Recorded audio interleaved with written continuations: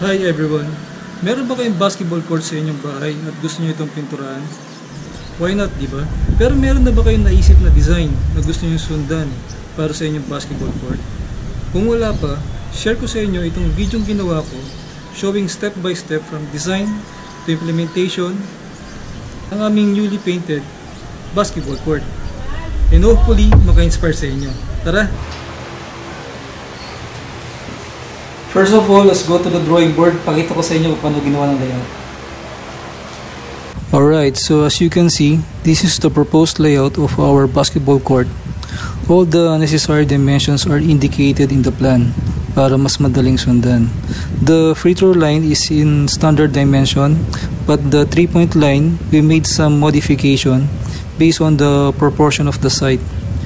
The concept design that we're going to apply is the theme of the LA Lakers and a tribute to the late Kobe Bryant. So sa gitna, yung malaking logo and the two numbers that he uses on both sides. So yung number 8, alam naman natin this is the number that he uses uh, when he started his career and then later on, nagpalit siya ng number 24. Para naman sa color scheme, Purple and gold are the brand color of the LA Lakers. In addition to these colors, we are going to introduce the black color as the main base color for the court. The area for the out of bounds in the center box of the free throw line will be the purple color, and all the lines, the numbers, and the center logo will be in gold color. O ah, okay ba? Bago naman tayo magpintura, kailangan siguraduhin muna nating malinis ang ating semento na walang alikabok o lumot para mas lalong kumapit ang ating pintura.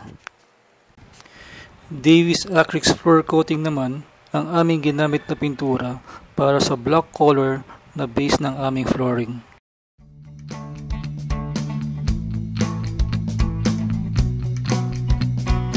Paalala lamang, siguraduhin lang na meron na itong nai-apply na anumang uri ng waterproofing bago pahiran ng pintura.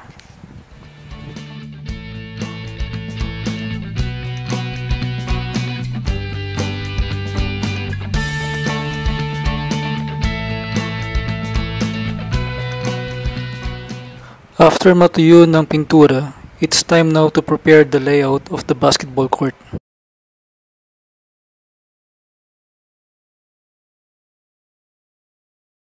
In putting the line marks, dito gumamit kami ng tinatawag na pitik or chalk line reel.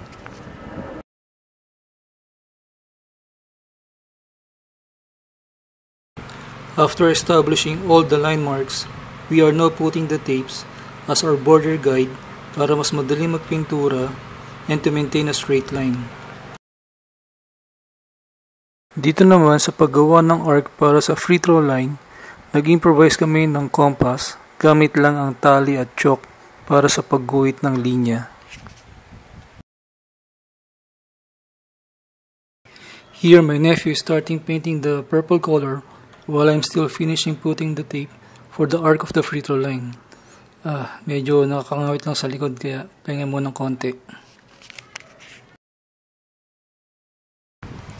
Shoutout na rin kay Jordi Flores, my nephew, na nag-push ng project na to to make it happen. And also to his father, John F. Flores, na nag-finance ng aming munting project. Inabot na kami ng dilim, pero tama lang para tapusin pinturahan ang buong free throw lane.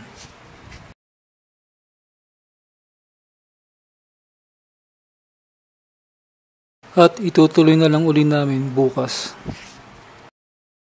Good morning once again. Today is our fourth day at itutuloy naman namin ngayon ang pagguhit ng linya para sa outside border at sa 3-point arc. Pati na rin ang pagpintura sa area ng out of bounds. Sa pagguhit ng 3-point arc, same process lang ang aming ginawa. Gumamit pa rin kami ng string at chalk at kumuha ako ng point sa ilalim ng basketball ring.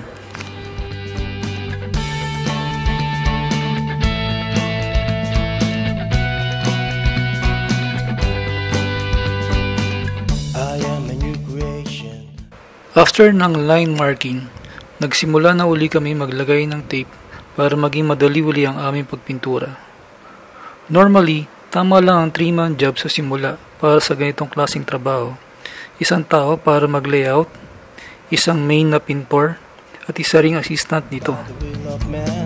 But by the Spirit of God My past is gone, I am Tuloy-tuloy lang ang pagpintura Yellow gold para sa outlines, purple para sa free throw lane, and outbounds. Ito na ang kabuuan ng aming basketball court. May forma na. Kita mo na ang outline. Shout out na rin sa dalawa kong pintor na si Rainier and Brian. Good work guys. Nakatapos na naman ng isang araw at natapos na rin namin pinturahan ang buong court.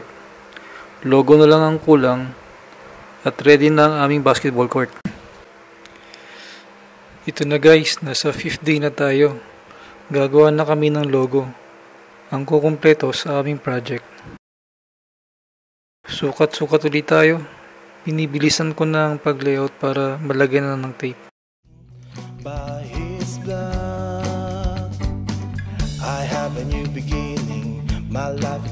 Around and I will never go back.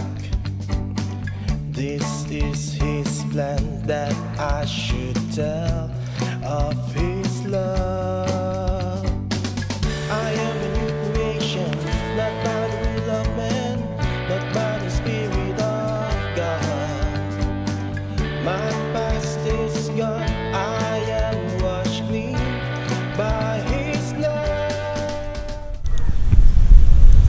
Alright guys, nalagay na namin ng logo. Pipinturahan na lang ng dilaw. After ng logo, isusunod ko naman ang number ni Kobe Bryant, ang number 24 at ang number 8.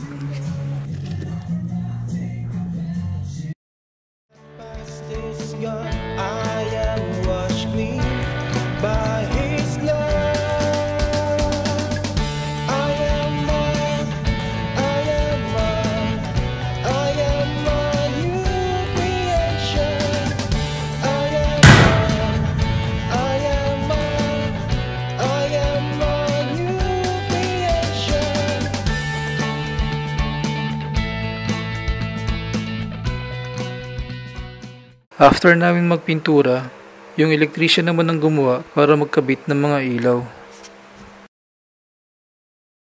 This is it. Tinatanggal na namin ang tape. And konting retouch na lang. At ready na ang aming basketball court.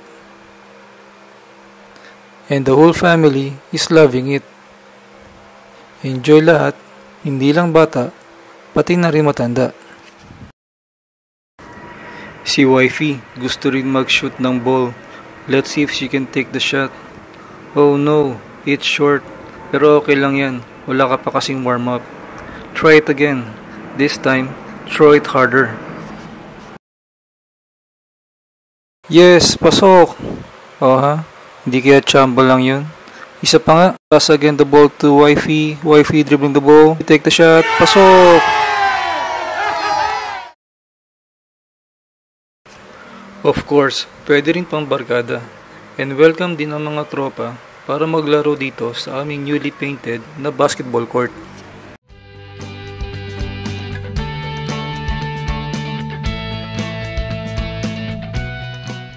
So guys, this is the finished product of our hard work. At dito na rin magtatapos ang aking video. Thank you for watching guys. Hopefully naka-inspire ang video ito sa inyo. If you have any questions, suggestions, kindly write it down in the comment sections. And please do subscribe on my channel and hit that notification bell for more upcoming videos. Until next time, and remember, always enjoy life and not to worry too much because Jesus loves you and He will never leave you nor forsake you. God bless po.